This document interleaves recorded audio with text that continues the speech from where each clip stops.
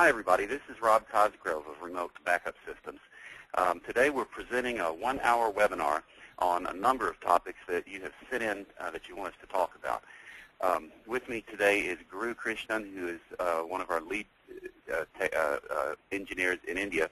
Um, we, uh, we have a lot of questions that were sent in, and unfortunately we won't be able to get to all of them, but we're going to get to the ones that um, that most people have asked about, and we did get a lot of requests for the, the first couple things we're going to do. Uh, but we do have other webinars scheduled. They're one per week through December the 19th. Um, we'll send out emails when, uh, we, uh, when we have links for you to join those if you want to. Uh, next week, Mitch Romm of Dr. Backup will be our guest on December the 12th at 11 a.m., and you haven't gotten that email yet. Mitch can address many sales-related questions as well as technical. Uh, a lot of you know him from the Partners Forum where he's really active. Mitch has offered online backup services since 2001. He has more than 3,000 clients. Um, what we've been, uh, let me uh, uh, walk you through your console there. Uh, you've got a console. If you want to ask any questions or make any comments, then please type them in where it says questions. And one of us will see those and we'll answer you uh, live. Um, let's see. I think that's all the housekeeping we have to do. Let me um, push a couple of buttons here. I'm going to drag some things to other screens. Okay, here we go. Um, okay. Um, one of the things that a lot of people asked about today is uh, best practices for designing a default client installer. And uh, this is um, this is something that a, a lot of people uh, want to hear about, and there are a lot of things that you can consider when you're doing this. Um, uh, as you know, uh, most of you have already bought the software and you've used it for a while. And as you know, the uh, server has, um, let me just start one up here on screen so you can see it. Uh, this is the server software. Some of you have the RBS console application, that's this one, and some of you have the web manager. Uh, all of you, well, all of you have the RBS manager program, so we're going to use that one today to uh, generate a custom client installer. The um, there there are many considerations for designing your defaults. Um, there, there's branding, there's defaults. Let me show you some things here. Customized client installer. Um, there's a default schedule. There's uh, backup sets, default file selections. Um, there are client locks to worry about. There are uh, uh, text changes if you want to do a lot of uh, branding to the system. You can. Um, these are other things that you can change the icons and the splashes, splash screens. We're going we're going to change those today so you can see what that looks like. And then uh, uh, some other things too, and even more things. But these are the simplest things over here. Um, best practices for designing the client installer uh, are on this page, which is, uh, you can get to this from Quick Links. So go to our website, pick Quick Links, and then pick Best Practices and hit Go.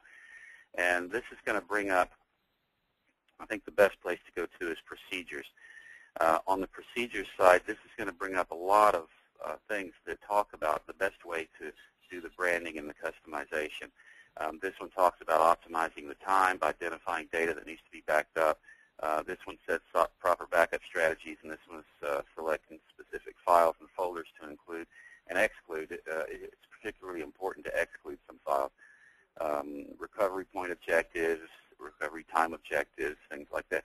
There's way too much here to go over uh, and do that subject justice.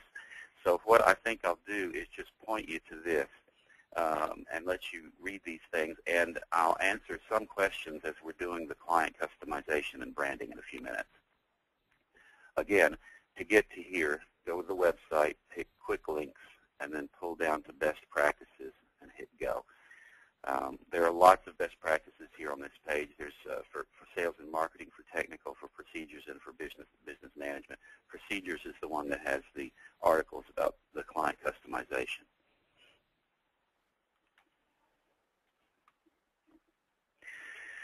Uh, let's see. Let me. Uh, get to my agenda here. Okay. Um, uh, let me ask if uh, is Guru there? Are you there? Yeah, I'm here. I'm here. I see. Okay. Uh, and are, are, you having uh, issues logging into the uh, meeting? Yes, yes. Uh, I want the code again. I guess uh, there's uh, one. Okay. the the meeting code that I sent you is correct. Um, maybe go to go to webinar. Maybe go to webinar.com and pick join webinar and then uh, enter that in there if you if you can. Um, otherwise, I'll, I'll show all this. And, and we've got good audio with you, so uh, if there are any questions.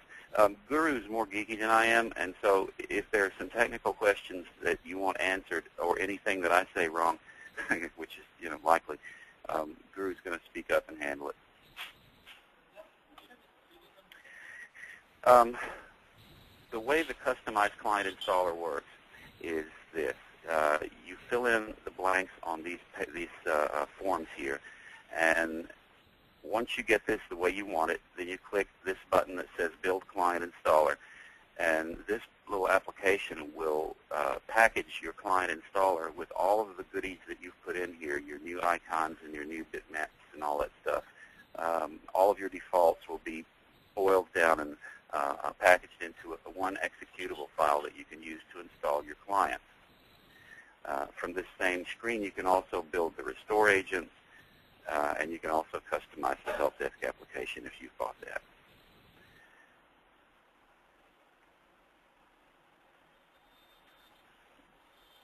Okay. Let's start with this.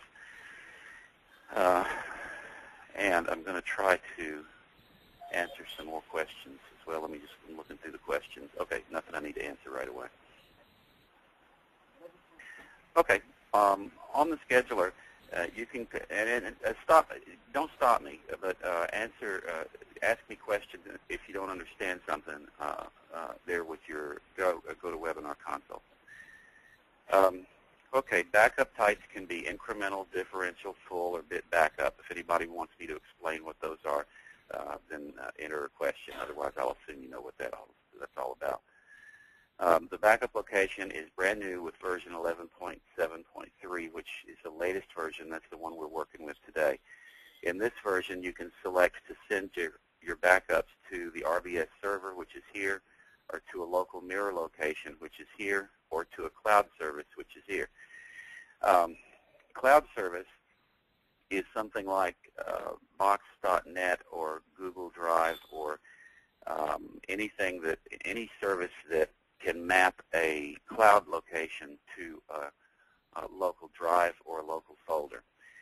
If you select cloud service, then uh, backups will be sent to that local folder, and then the driver that's associated with the cloud service will manage sending that up to the server, uh, up to the cloud.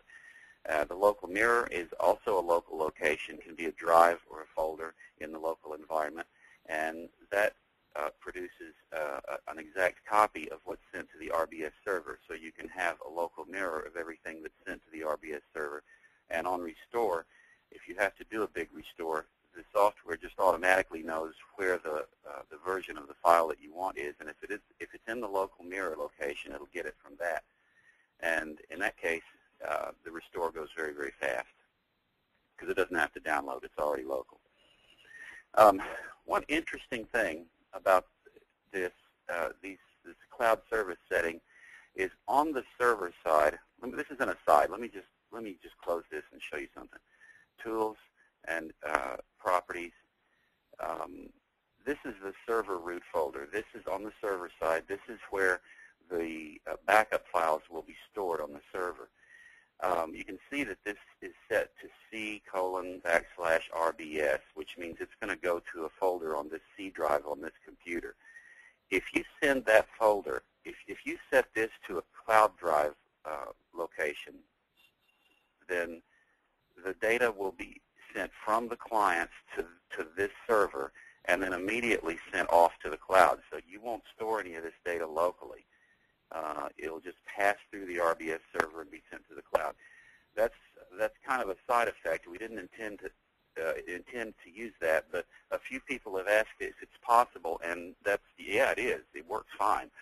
Um, I don't know what you want to do with it. Uh, we I, I don't know if you see any particular um, interest in that or, or reason to have it, but it's there. Uh, and Guru, will you let me know if you get logged in? Yeah, I'll do. I'll do. Okay. Uh, and Pinku might have the link too. If he's available, you could ask him. Um, all right, let's go to the customized client installer. Um, the basic settings, if you're, uh, is where you start. If you're going to use the server locator, you can click this button, and it'll automatically uh, type in your server locator host name. The server locator host name, as you probably know, is your serial number plus these last uh, this last bit here. And uh, the server locator is a dynamic DNS service that we provide to people with uh, maintenance contracts that are active. And uh, it's used to uh, provide a, a, non-changing host name for, for a dynamic IP address. So you can run your server on a, a dynamic IP address if you want to. It can also be used for uh, backup DNS. It, a lot of people use it for uh, instead of a static IP address. Um, we recommend strongly that you don't put an IP address in here because IP addresses can change. Even if it's a static IP address, you might want to move your server to a different server host or you might want to change your internet service provider. Um, in that case, your IP address is going to change and you will, and you will, uh, your customers won't know where to find you. So even if you don't use our server locator service, use somebody's DNS. So you can type in something like this, uh, a DNS name. Uh, for this demo, I'm going to use the uh, local host address because I'm going to install a client on this computer and I want it to be able to see the server on this computer and this server is at this IP address. Um, for backup sets, you can select your backup type, the backup location. You can set the schedule. Um, you can set uh, uh, on the auto select filter. The auto select filter is uh, you can turn that on or off. If you turn it on, this kind of bypasses the file selection menu and allows you to back up files by file extension. Uh, for example, if I wanted to back up, if I wanted to exclude temporary files, I could uh, do this. Uh, let's see, exclude, and it adds them to the exclude list and those will be excluded globally. Uh, if I wanted to back up all of, uh, let's see, uh, let's pick something. Uh, well, unpackaged author, author, author wave files. I'd do this, and I'd click this, and I'd, that they would go to this. Um, when you use auto select, auto select allows you to uh, uh, not select files at all, except globally like this. And by default, the client software will pick those from whatever folder they're in. So it's pretty good if you don't know where your clients are storing their files. Uh, for, for, this demo, I'm going to turn it off. Um, there were some questions about purge and retention settings, and uh, this this is one of the major things that you want to think about when you're setting uh, setting up all of your defaults for the client. Um, it's it's usually best to set up uh, two or three backup sets. Guru, talk to me about this, will you? Uh, uh, tell yes. me what your opinion is. I say put two or three backup sets in here as a default and set them. We're, we're seeing more people use this option lately, number of, of versions to keep online than we are uh, using purge files older than dates. Um, if you pick number of versions to keep online at three, that's going to keep three, the, the, the, most recent three copies of most files on the server.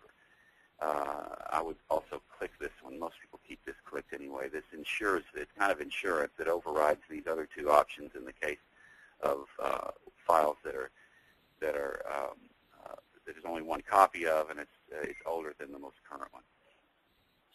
Um, uh, Rob. Yeah, go ahead.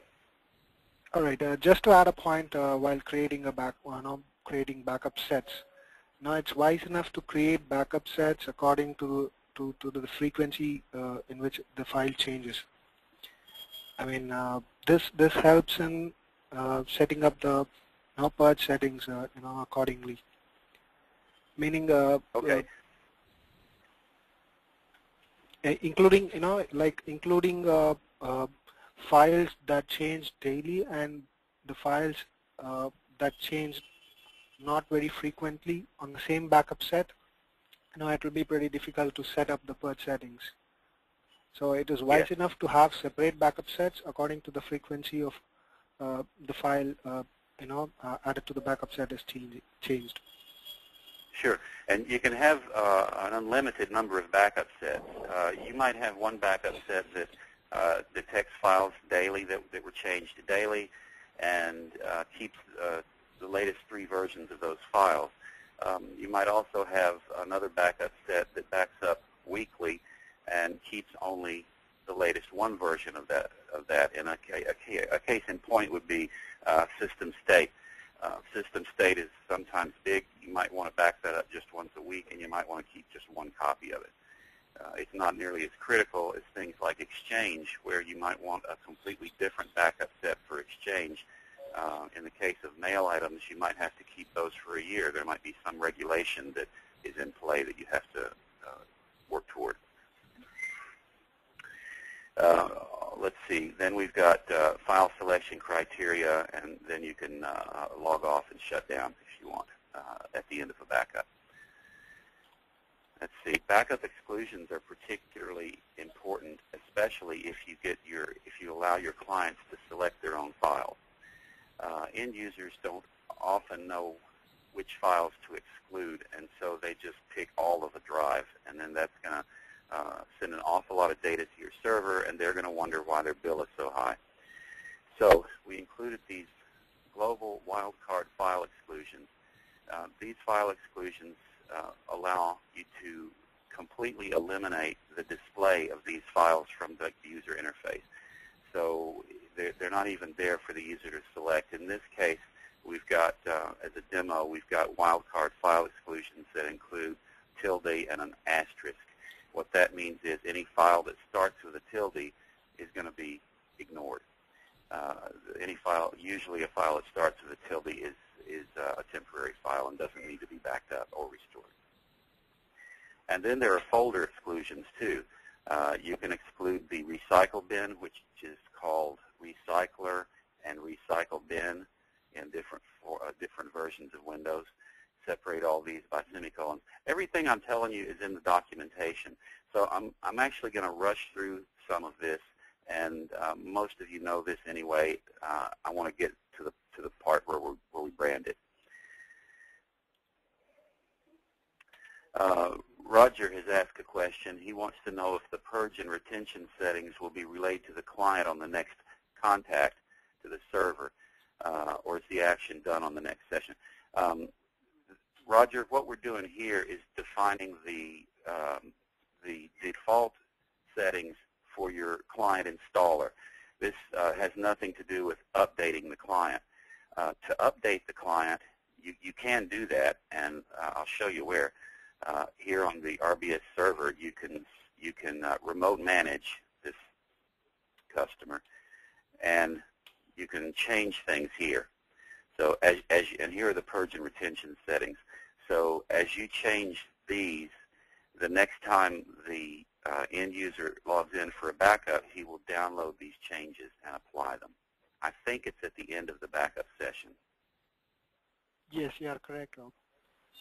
Okay, good. Let's see. That's all in the basic stuff. Um, to, to get it working uh, for the first time here, let's uh, let me let me make sure I've got this exactly the way I want it. Nope, I want to do a full backup on demand. Uh, backing up to the RBS server. Okay, all right. Uh, then you can change some text. Uh, some text here. Uh, I'm gonna I'm gonna apply some customization to this. So I'm going to include a different name. I'm going to change the name on the screen captions to uh, Rob's RBS service. Um, here I can also add more menus, and I can all, I can add two menus. I can include my end user, my own end user license agreement if I want. Client locks are the next one, and client locks allow you to turn things off on the client software. Um, you might want to lock the ability for the customer to change the schedule. Uh, you might want to lock the entire backup set menu. It just turns these features off. Uh, some service providers find that if they give their clients access to the complete system, all the controls in it, they they will uh, change them, and sometimes that uh, uh, affects your billing, your cost of doing business, and so uh, it would pass through to the client. It's hard to do that. Uh, here's where we change the display, and I'm going to do this for you. I'm going to change this. Uh, the splash screen, I'll show you the default splash screen that comes with it. This says Remote Backup System. Well, it's going to open in Paint Shop Pro. Okay, that's all right. This just takes a while to load. Then um, uh, the uh, you can also change the About screen, and this is the one that comes up when you type Help and About. Okay, here's the default screen that comes with it. Let me move that aside.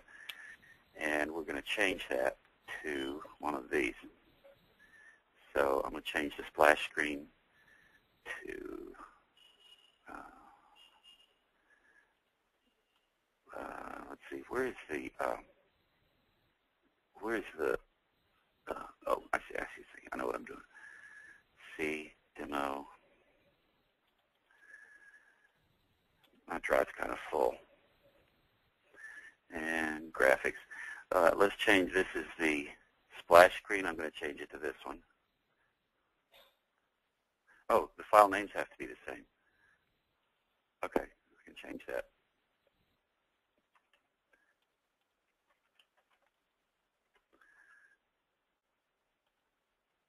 That was RB about, wasn't it?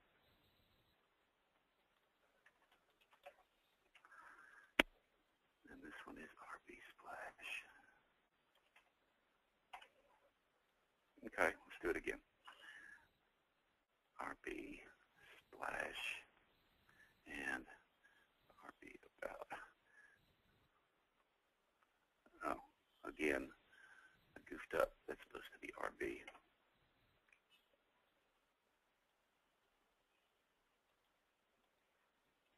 Okay. Huh. I changed it here. It didn't change here. Okay, I'll type it in.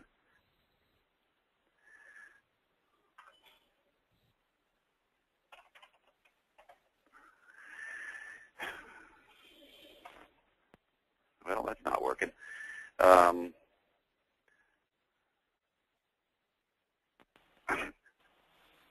okay, I don't know what Windows has done here, but I, all right. So we're going to be able to change the splash screen, but not the About screen, uh, even though I've changed it over here uh, in Windows. Uh, Windows over here doesn't recognize that the file name has been changed. Uh, let's let's change some icons too. Uh, this is RB icon. It's called RB. Yep. And this one is called Icon 1. This one's called Icon 3. This is called Icon 4. Okay. I can also change the icons in the executable files if I want to. Um, show you how to do that. Uh, you can, here's the uh, uh, software. This Look at this icon. This says rbackup.exe, and it's got the default icon. I'm going to change that to uh, uh, 32 by 32. Well, I don't have a 32 by 32 pixel icon, so I'm going to leave it the same. All right. So that changes. I'm going to I'm going to go ahead and apply this just to make sure all my changes are safe. Okay. Then uh, I'll show you backup settings. Uh, backup settings is where you can um, it's where you can change the encryption method if you're going to use, uh, if you have to comply with HIPAA or Sarbanes-Oxley or GLB or some kind of uh, privacy regulation, it's best to use AES 256. Uh, Blowfish is more secure, but uh, AES 256 uh, is, is 256-bit encryption, and it has um, uh, it, it's a government standard. all of this stuff is good. This is good. this is if you want to change the temporary file path, you can here and here. Uh, I always uh, exclude hidden in system and read-only files. Um, and all this stuff. Advanced things, uh, we won't get into that. But this is, well, I'll tell you a little bit about it. This is, you may want to change the start mode. Uh, the start mode is uh, a defined switch interface for the client software we're going to use. There's a simple interface and an advanced interface. Uh, let's start this with the uh, simple interface, and then you can see more advanced options here. You can set a maximum file size limit. You can set a, a free space threshold. Um, you can enable pause. You can. This is where you enable local backup and the cloud. Uh, now your server has to be enabled for the cloud in order to use this, and mine isn't. Uh, but uh, here's where you would enter the cloud path and the local path.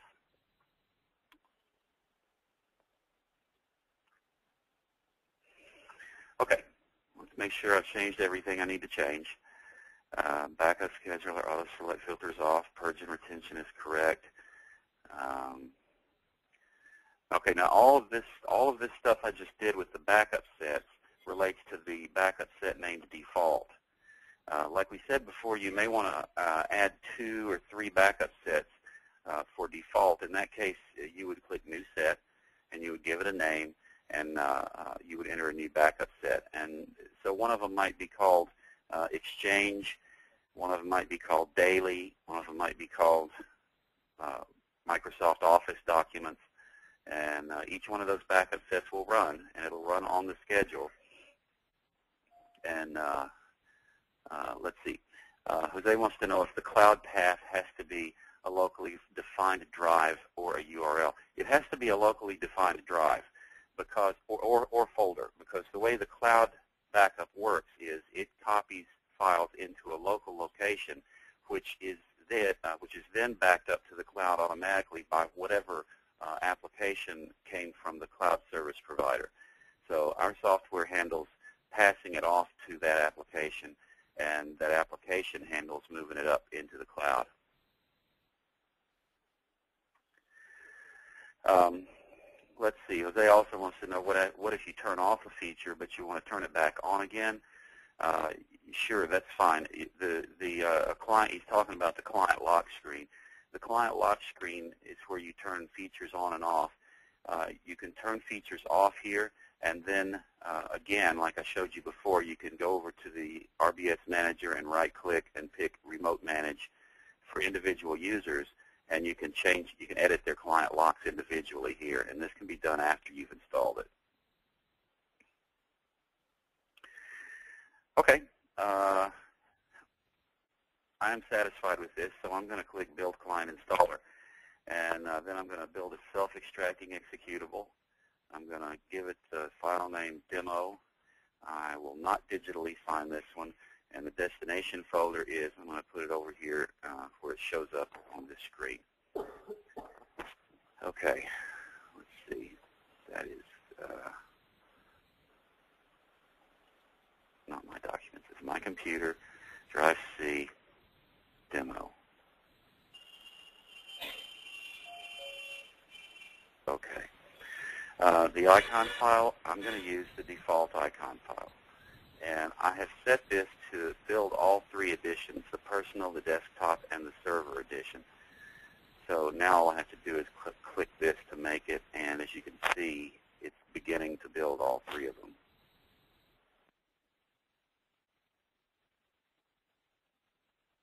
Okay, it created those just fine, and as you can see, it put in the new uh, the new icon. This is the icon that I selected. Uh, whereas this one is the default icon for RBS for, for our, our, RBS software. Uh, this is the customized icon. And this will show up in various places. So, all right, now we've got the uh, we've got the three editions of the client software built. And to install these, we just uh, send them to the client or take them to the client and double-click them, and they, they, they'll run. Uh, let's install a, a, desktop edition on this computer. And so I'll double-click that.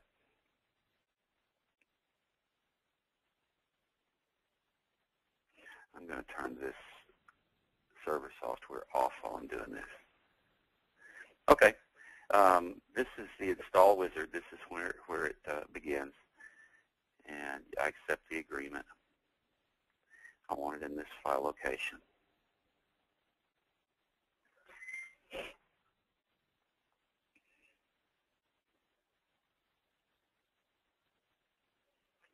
While this is installing, uh, let me look through the questions here.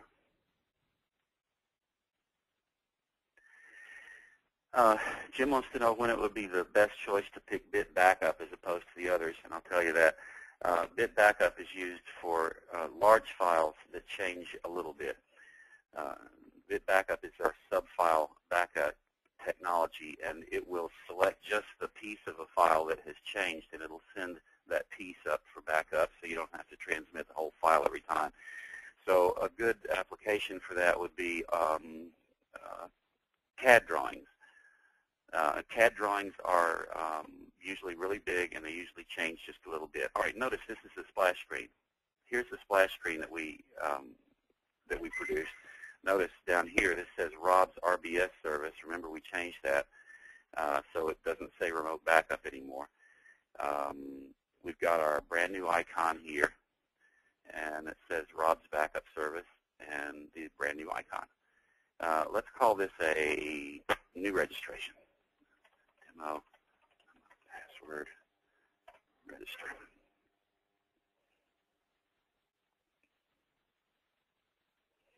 Encryption key. Normally I'm going to say yes, but uh, I mean, you, really should say yes to this. I'm going to say no. This is the form. This is called the encryption key info form, and notice that it's got our, our new icon on it. Um, the encrypt. Please print this when you install this. Please print it. Uh, if your customer forgets his encryption key or loses the key file, or, or like I just did, doesn't create a key file, um, this form is the only thing that's going to help him get his data back without a key escrow uh, procedure, and that's that costs $500. We don't like to do them. Um, but uh, this has everything your customer will need to restore his data in case he completely loses that client software. If it's completely gone, uh, he can he can uh, reinstall the software and um, type all this stuff into it, and then it'll it'll it'll log into the same account as before and download the data that needs to be restored. Um, okay, the client software is running down here in the system tray. You can see the little uh, little icon there. I'm going to restart the RBS server now. And let's uh, wake this up and do a test connection. Um, remember when we told it to uh, start up with the simple interface? Uh, there are two interfaces to the client software. This one we call the simple interface because it, well, it looks real simple. Um, uh, when it first starts up, it wants to make sure that you've got a good backup set selected. So I'm going to uh, go ahead and select some, some files to back up.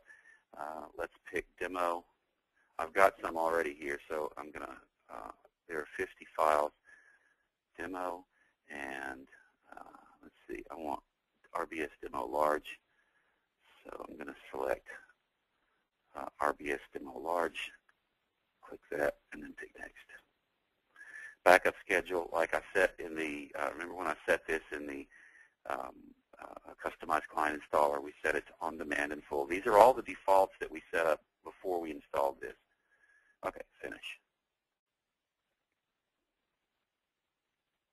Let's test the connection to make sure it works. I'm going to drag this aside so you can watch both of them. We've got the client software, that's this one, running on the same computer as the server software. This is the server software. So you'll be able to, I'm going to test the connection now, and what that's going to do, uh, it'll do a, a test backup and a test restore to the server just to make sure that everything is connected properly. And you'll be able to see it log in too. Uh, all right, here it goes. And see where it logged in here on the server. Uh, it was very fast because it's on the same computer, so the IP stack is real short. Um, it did all these tests, so it works fine. And now it'll now it'll do a backup. Uh, let's do a backup. Let's do a backup of the default backup set. And that's 50 files that I've pre-selected. And here it goes. So what it does now is it scans the files, uh, it uh, prepares the files, and then it transmits them. It's, it's all done now. Uh, looks like it only transferred three because I must have set it to something. I wonder, I wonder what happened to this Drew, this in three files. Well, let me, um, at any rate, so, so let me switch, to, let me show you the two interfaces. Um, this one is the simple interface. I'm going to switch to the advanced interface. Um, if you are a technoid like me, you are going to want to look at this interface when you're out there working on it. Uh, this interface has all of the functions of, of the client software right up front, and it's very, very fast. Um, you can see that it's all customized here. Uh, let's look at the, while we're in here, let's look at the About screen. Okay, that's right. We didn't change that because uh, Windows wouldn't change the file name for me. So that one's still set to the old one. But uh, if, if Windows had, had acted right, then it would have uh, changed that to the new one. Um, so let's see here. Um, let me, let me uh, uh, what, what should we do next, uh, Guru? Can you suggest something? Oh, Jose said he told me what I did wrong. I selected the wrong demo. Let me go check, uh, pick the right one. Thanks, Jose. I picked the small one. Yep, I sure did. Okay, I'm going to deselect that one and select the demo large. Okay, fine. And then I'll save that, and then we'll do a run now. So this is going to do a, a bigger backup.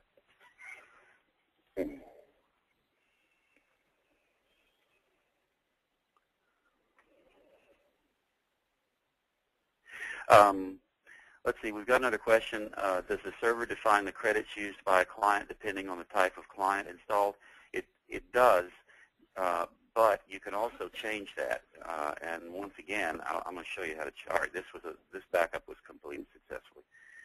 Um, here, let me show you how to change that. Back to the server, you go to Accounts, and then you right-click on the uh, account that you want. Uh, and then you, you pick edit use uh, edit the demo, edit demo user. Right here, account type is server edition, desktop edition, or personal edition. This one defaults to server edition because I installed the demo serv setup.exe, this one. It'll default to whatever you install of these exe files, but after installation, you can change it. If you want to go back and change this to a desktop edition now or a personal edition, then uh, that's fine. You can do that. Uh, and next time the user logs in, he'll he'll uh, uh, change. The, the software that gets installed on the on the clients is all the same.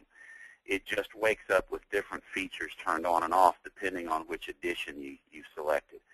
If I install a server edition that uses four credits, if later after the installation I go back and change it to a desktop edition, then next time the uh, next time that client logs in, he'll pick up the features for the desktop edition and return two credits to this credit pool on the server. Likewise, if you want to change it from a workshop from a workstation edition, I'm sorry, desktop edition to a server edition, it'll subtract two credits from the pool. Um, how about uh, we do a, a, restore just for fun? Let me uh, delete all these files. Um, locally, I'm going to delete all 50 of these files here. All right, they're deleted. Now, hopefully, the restore will work. Guru, you think it'll work? Yes. I do too. All right, the restore interface. I'll tell you about the restore interfaces. There are three of them, uh, and they come from three different locations. This is the one that's built into the client software. The other two are disk-based restore and web-based restore. There is a file that you can uh, build and post on your website. I'll show it to you. It's this one, webrestore-setup.exe. This one gets built from uh, the uh, server. Uh, you can post this on your website, and customers can click it to download it. It's very small. It's only uh, uh, two megabytes. A couple of MBs. Mm -hmm. And um, when you when you download and run this, it uh, asks you for your username and password and encryption key, and then it brings up this same interface, and you can restore files from there. I don't think I'm going to go through all the features that are available in this restore interface. I'm just going to do a quick restore. Uh, as you can see, I've got two of them here. There's RBS Demo. Let's see what's in there, three files. And then there's RBS Demo Large. That's the one I deleted. That's the one I want to uh, replace. So I'll click those and pick Start Restore. Tell it uh, no, don't redirect it. And let's uh, go back to here and watch them come back in. There they are. The restore is very fast because that's downstream uh, data. And they're all back. And that's good because i got to use these tomorrow. Uh, let me uh, scan for questions. Um, uh, Jim wants to know if there's a conflict between any computer that already has an encrypted drive and uh, uh, uh, applying additional encryption. Nope, there's no no problem with that because when the, the, when the client software gets that file, Windows is gonna, or, or your driver is going to decrypt it anyway. So it's going to be decrypted first, and then it'll be re-encrypted and sent up to the um, sent up to the client. That's the way I understand it. it was that a lie, Guru? Yes, yes, correct. You're right. It, it was okay. All right. no, so I was right then, right? Yeah, yeah. Okay. Um, okay, uh, I think we're done with that. Uh, if anybody has any more questions, uh, go ahead. We've only got 17 minutes left, so I want to move on to a couple of more uh, questions that people wanted to see. Um, let me just read my, my uh, documentation. Uh, most people wanted to see a quick demo of the web manager and the e-commerce plugin, but uh, I'm going to, mm, we'll probably go along with that. So what I'm going to do is, is uh, answer some questions first.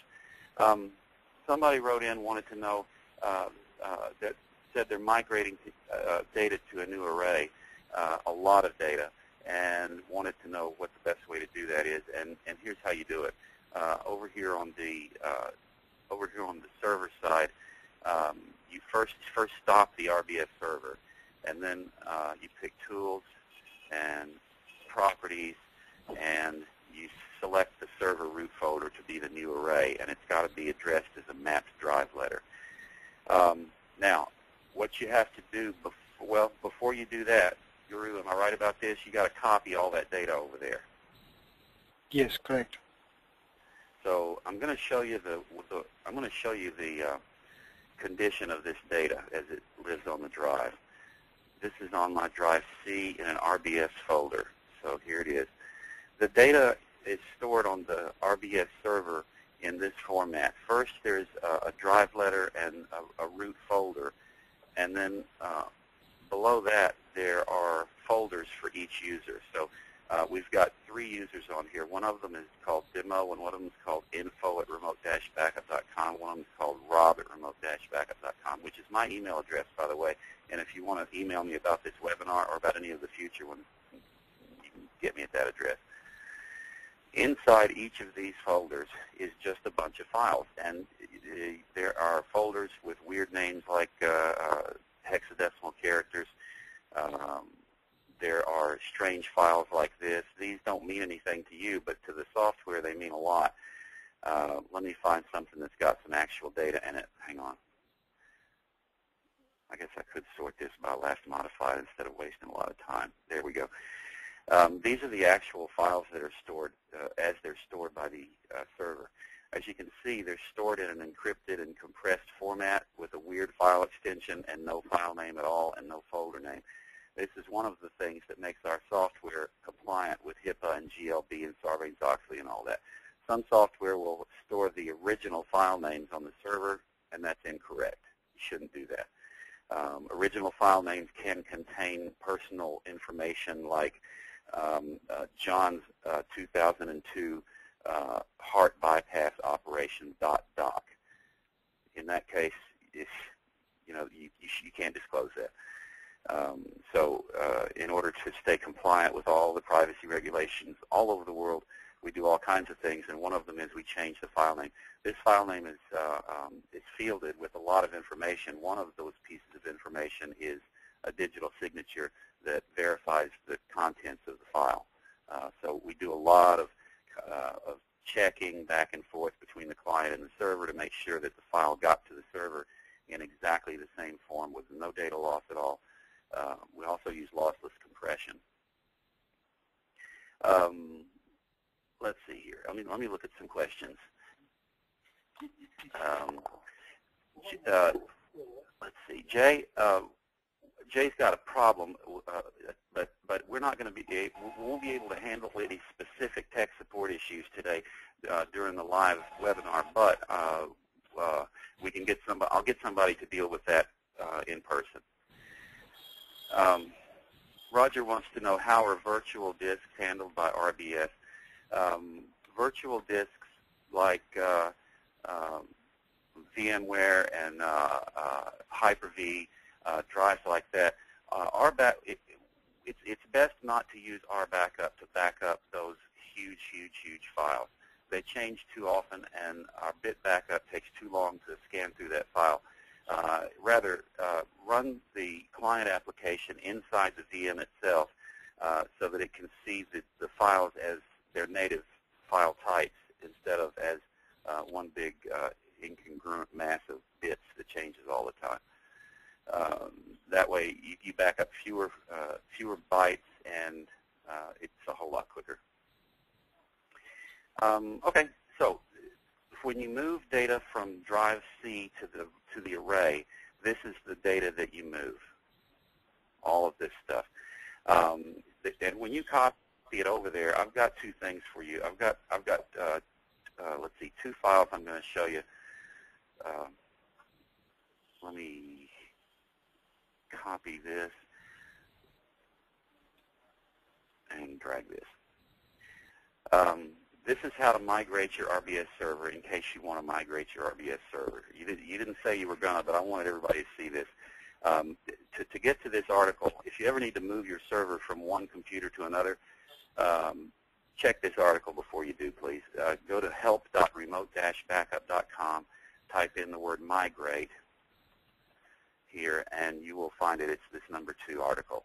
Uh, it's the official procedure for how to migrate your RBS server to a different uh, different uh, computer. Now, this is what will be of, of special interest to you, the, uh, the, the, person who wants to move so much data. Boy, we have uh, we tried and tried. We did a lot of tests, and we discovered uh, a way to move six terabytes of data from one NAS device to another. Um, this this was going to take uh, days, but we got it down to 30 hours. Uh, we moved 6 terabytes in 30 hours by using two programs at the same time.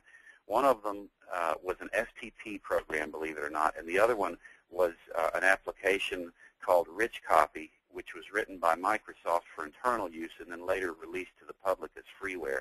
Rich Copy is great. It runs multiple threads. It's very fast.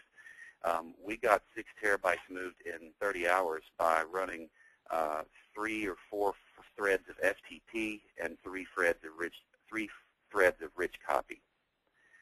Uh, so uh, again, well, this one uh, you can get to by uh, going to our blog. It's blog.remote-backup.com and type in supercharge.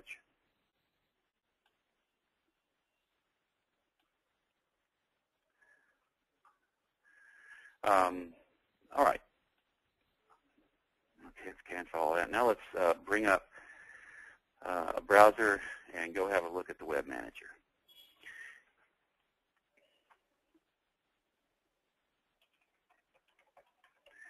The web manager I'm going to show you today is on our is in our data center. Uh, it's it's uh, a demo uh, server that we have up there, and uh, it's uh, uh, you, you, point it to point your browser at rbs-software.com, and you can click here to get. You can click here and it'll ask you for some information, your first name, last name, and all that stuff. Um, it'll email you a login, or two logins actually, for this site, and you can use those to log in and uh, view the web manager for yourself if you want to. I'm going to log in as admin. Um, Jay says his uh, uh, blog and site logins don't work. There's no login for the. There's no login uh, required for the blog, Jay, and there is for the um, for the uh, help desk and for the partners forum. So if you want, you can uh, uh, you can email us or you can call us, and we can reset your passwords for you. Okay, credits. Uh, the web manager uh, is the, the part, it's a, it's a separate plugin sold uh, by RBS, and it puts a lot of the features of the RBS manager on a website. Uh, this again, this is the RBS manager. You you will still have the RBS manager, uh, but uh, in addition, you'll have this web-based interface which you can get at from anywhere. Um, the web interface has more features on it than the RBS manager, um, but it's only those that are needed by the RBS um, web manager and e-commerce solution by themselves. And we have the e-commerce solution built into this too.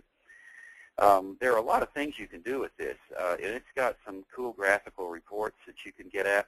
Uh, this thing costs uh, $499 and includes installation. Uh, the e-commerce plugin is the thing that provides you with the uh, with the ability to well to do this.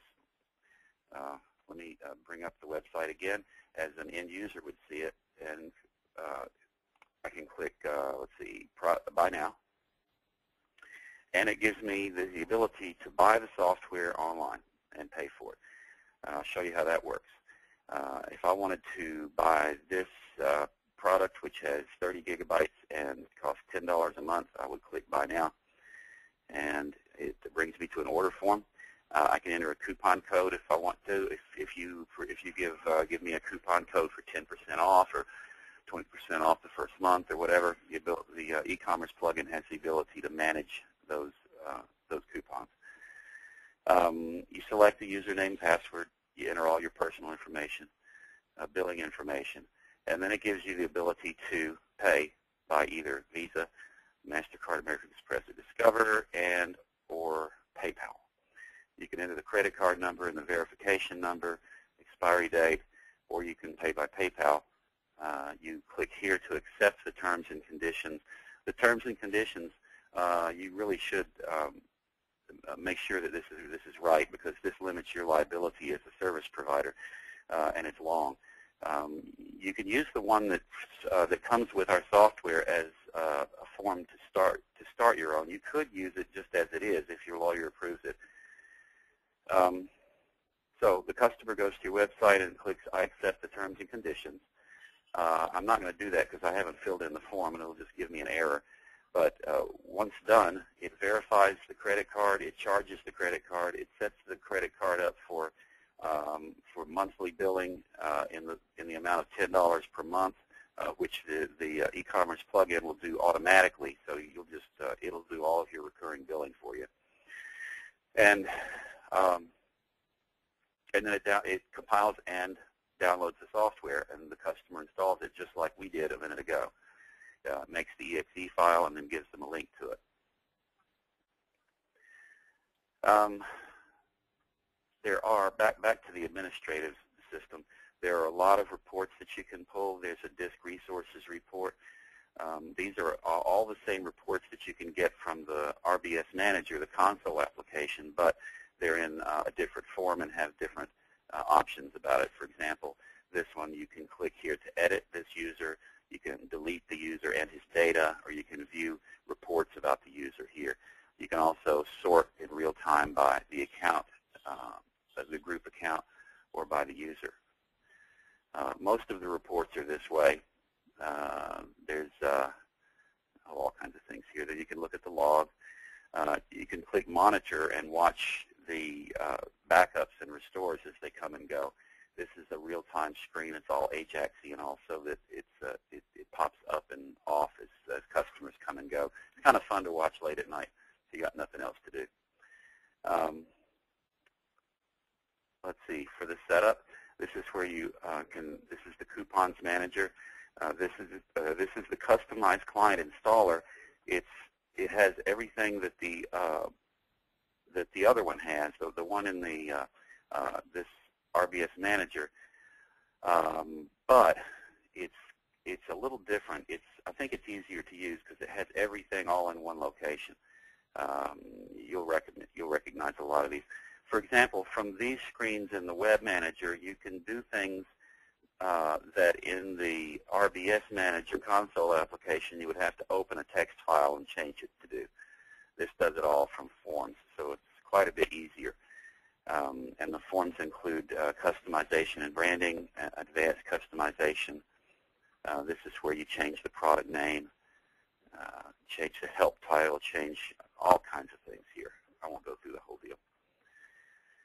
Uh, when you get orders in through the e-commerce plugin, they show up on this screen. Um, and you also get an email about it.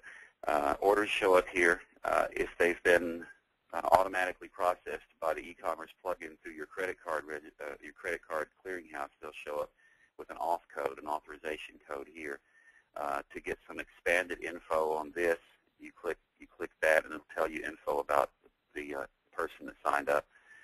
Um, as uh, monthly, as recurring billing happens, uh, you'll also see recurring billing show up here, which which uh, shows up like uh, a monthly payment. Let's see. Oh, credit card processing houses that we use. We support uh, Authorize.net and PayFlow Pro, which is uh, a, formerly a VeriSign product now owned by PayPal. We also support PayPal Advanced Payments Plus. What is it, Guru? Let me go over here. Okay, we support PayPal, Express Checkout, Authorize.net, PayFlow Pro. Uh, Bill Me Later, which is one that you would use if you if you're going to use other billing for this. For this, if you've got clients, you're an MSP, you've got clients that you send a monthly bill to anyway, and you're going to add this on as another, uh, a separate line item, then you could pick Bill Me Later, and that way it won't ask you uh, when customers when customers go here to buy now, uh, they won't be asked for any credit card information at all. Uh, offline credit card processing is for support of anything other than Authorize.net, PayFlow Pro, or PayPal.